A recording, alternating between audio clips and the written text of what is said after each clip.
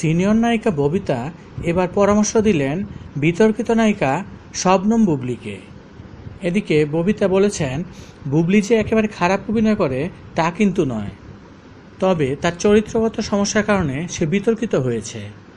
তাছাড়া শাকিব খানকে সে বিভিন্নভাবে প্রভাবিত করার চেষ্টাও করেছে। যার কারণে শাকিব খান ও অপবিশ্বাসের দূরত্বের জন্য বুবলি যে অনেকটাই দায়ী, তা কোনোভাবেই অস্বীকার করা যাবে না। বুবলির সবচেয়ে আগে যে জিনিসটা করা দরকার, তা হচ্ছে বুবলির মুখকে সংযত করা। কেননা, অনেকদিন পর আমরা লক্ষ্য করছি শাকিব খান এবং অপবিশ্বাসের মধ্যে একটা সমাধান আসার সম্ভাবনা আসছে।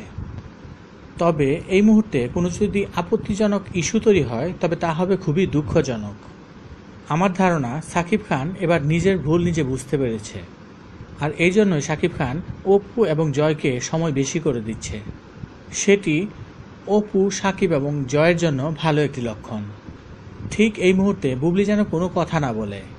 কেননা, বুবলির এক একটি বিতর্কিত মন্তব্যই সাকিব খানকে আবারও নাড়া দিতে সক্ষম।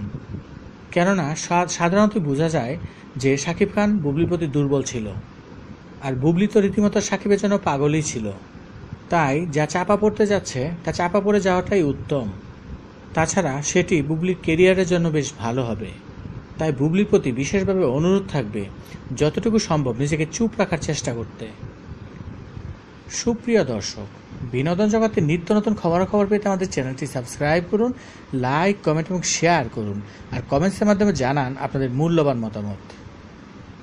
ধন্যবাদ।